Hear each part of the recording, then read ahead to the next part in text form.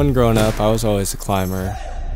Now, I get to climb towers. It's like climbing trees, but with an actual purpose.